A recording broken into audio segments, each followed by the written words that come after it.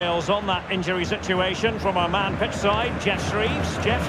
I've got to say, he landed really heavily on his shoulder there and looks like he's in severe pain. But he looks less concerned than the bench, who are worried about him. I think he'll stay on. Cheers, Geoff. Barca maintain possession, advantage. Raphinha. Now Lewandowski carries the ball forward. But can he produce? And a goal! 1-0 it is. They've been pushing for the opener, and now they have it.